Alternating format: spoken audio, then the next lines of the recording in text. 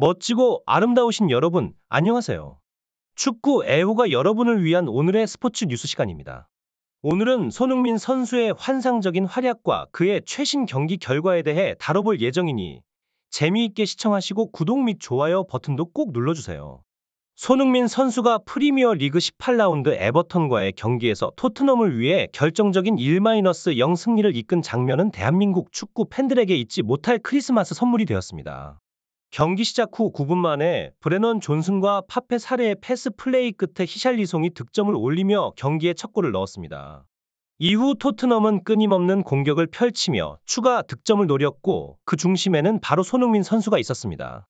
특히 손흥민 선수의 골 장면은 인상적이었습니다. 조던 픽포드 골키퍼가 쳐낸 공이 그에게 도달했을 때 그는 침착하게 수비수가 없는 공간으로 이동하여 정확한 슈팅으로 골을 성공시켰습니다. 손흥민 선수의 빠른 반응 속도와 정교한 슈팅 실력이 빛났던 순간이었습니다. 이 골은 그의 시즌 11호 골이 되면서 그의 탁월한 기량과 경기에 대한 헌신을 다시 한번 입증했습니다. 팀에 대한 그의 중요성은 이제 의심의 여지가 없으며 그의 기여는 팀의 성공을 위해 필수적입니다. 손흥민 선수의 이러한 활약은 대한민국 축구 팬들에게 큰 자부심을 선사하고 있으며 그의 경기를 지켜보는 것은 항상 흥미롭고 기대되는 일입니다. 이 경기에서 손흥민 선수는 풀타임을 뛰며 한 골뿐만 아니라 높은 패스 성공률, 다수의 드리블 성공, 공격 지역에서의 활약을 통해 팀의 승리에 기여했습니다. 이번 득점으로 프리미어 리그 통산 114골을 기록한 손흥민은 이안 라이트의 113골을 넘어서며 역대 득점 순위에서 단독 23위에 올랐습니다. 그의 다음 목표는 라힘 스털링, 스티븐 제라드, 로메로 루카쿠 등의 기록에 도전하는 것입니다. 더욱 기쁜 소식은 이번 승리로 토트넘의 승점이 36점이 되어 한 경기를 덜 치른 맨체스터 시티를 두 점 차로 따돌리고 순위표 상위권에 오르게 되었다는 점입니다. BBC에 따르면 손흥민 선수는 경기 후 PLP 인터뷰에서 상당히 당당하고 인상적인 발언을 남겼습니다. 그는 후반전을 보면 에버턴에게 2-0으로도 안심할 수 없다는 걸 알 수 있다. 에버턴이 밀어붙였지만 우리는 잘 버텼다. 환상적인 경기였고 승점 3점을 얻어 매우 행복하다. 우린 승리할 자격이 있었다라고 말했습니다. 그는 또한 선수 생활 내내 골을 넣기 위해 노력했고 감독님이 나를 어느 포지션에 기용하든 큰 문제가 되지 않는다. 나는 준비가 되어 있고 내가 무엇을 해야 하는지 안다라며 자신감을 드러냈습니다. 왼쪽에서 뛸 때도 최대한 팀을 돕기 위해 노력한다. 팀을 위해 뛰는 것이 좋고 사이 안에 진입하는 것도 중요하지만 그게 우리의 최종 목표는 아니다. 우리는 계속 발전하고 싶다라고 그는 강조했습니다. 손흥민 선수의 겸손함과 야망은 늘 인상적입니다. 현재 맨시티가 토트넘보다 순위가 낮은 상황에서 그의 발언은 리그 우승에 대한 목표를 내비친 것으로 보입니다. 이전 영상에서 언급했듯이 손흥민 선수는 아시안컵 차출 전에 토트넘의 5연승을 이끌 가능성이 충분합니다. 그의 오늘 득점은 대한민국 팬들을 위한 간절함이 뽑아낸 결과라고 생각됩니다. 이로 인해 팬들은 크리스마스 선물을 받은 듯한 기쁨을 느끼게 되었을 것입니다. 이제 지도자의 에버턴전 승리 후 인터뷰로 넘어가 보겠습니다. 많은 팬들이 오늘 경기력에 대해 질타를 했는데요. 지도자의 대답이 굉장히 궁금했습니다. 기자가 경기 결과에 대해 어떻게 생각하느냐는 질문을 던졌을 때 지도자의 대답은 매우 객관적이었습니다. 지난 몇 주 동안 좋은 성적을 거둔 에버턴은 어려운 상대였다. 오늘 에버턴은 열심히 뛰었고 우리는 전반전에 골을 넣는 것 외에도 좋은 축구를 펼쳤다라고 말하며 팀의 훌륭한 활약을 강조했습니다. 또한 그는 우리는 2대 0으로 앞서고 나서 조금 느슨해졌고 그것이 에버턴이 경기에 복귀할 수 있게 해줬다고 생각한다고 평가했습니다. 공을 소유하는데 시간이 조금 더 걸렸고 그중 일부는 에버턴 덕분이었다. 그들은 계속 심히 뛰었고 후반전에는 과도기적인 경기가 되었다라며 경기의 흐름을 설명했습니다. 우리는 회복력과 박스 안에서의 강한 수비를 보여줘야 했고 오늘도 뛰어난 활약을 펼친 비카리아 선방도 몇 번이나 있었다라고 덧붙였습니다. 후반전에 대한 평가는 냉정했으며 승점 3점을 따낸 것도 다행이라고 평가했습니다.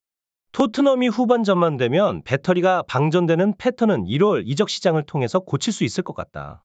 결국은 선수들이 바뀌지 않으면 경기력을 바꾸긴 힘들다라고 그는 말했습니다. 크리스티안 로메로의 부상 상태에 대한 질문에 대해서도 답변했습니다. 직전에 햄스트링에 통증을 느껴서 빼야 했다라고 간단히 정리했습니다. 이번 에버턴 전은 VAR 골 판정이 있었으며 칼버트 루인의 골이 선언되었다면 오늘 경기는 승리하지 못했을 것이라는 질문에 대해 아니다라고 대답했습니다.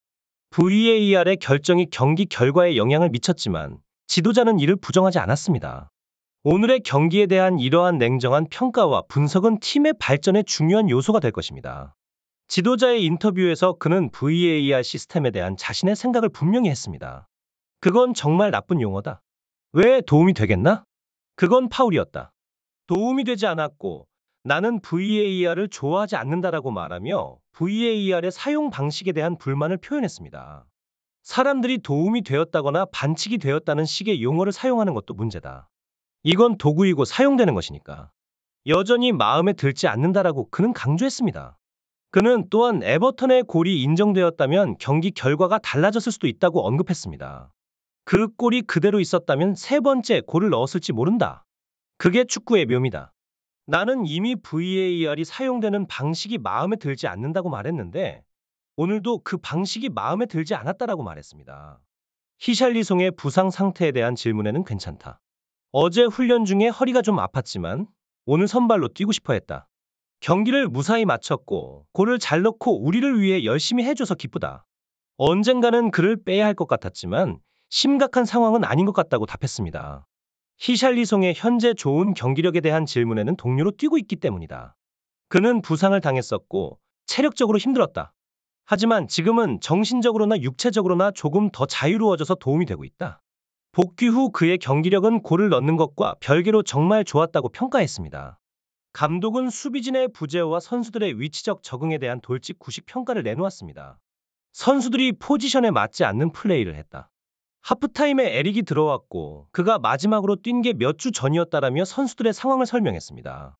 동시에 감독은 공격적인 플레이를 통해 많은 찬스가 만들어졌다고 생각한다.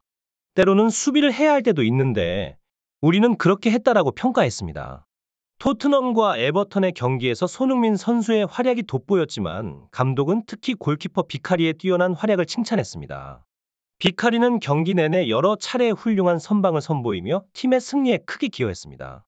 감독은 그의 선방 능력뿐만 아니라 경기를 조직하고 빌드업하는 데 있어서의 중요한 역할도 강조했습니다. 비카리의 활약은 특히 코너킥 상황에서 두드러졌습니다. 강한 압박을 받는 상황 속에서도 그는 침착함을 유지하며 팀을 안정시켰고 몇몇 위험한 순간들을 능숙하게 처리하며 골문을 지켰습니다. 이러한 그의 뛰어난 선방은 팀의 수비진에 자신감을 주었고 결국 토트넘의 승리로 이어졌습니다. 감독의 이러한 칭찬은 비카리의 기량을 인정하는 동시에 그가 팀 내에서 맡고 있는 핵심적인 역할을 강조하는 것이었습니다. 한 경기의 특정 순간뿐만 아니라 전체적인 경기 흐름과 조직력에 있어서도 비카리는 중요한 인물임을 보여주었습니다. 손흥민 선수의 득점과 비카리의 선방이 어우러져 토트넘은 에버턴을 상대로 중요한 승리를 거둘 수 있었던 것입니다. 이제 저는 이 인터뷰 전문을 번역한 후 여러분께 전해드리고 반신욕을 즐길 예정입니다. 여러분 모두 가족, 연인, 친구들과 행복한 크리스마스를 보내시길 바랍니다.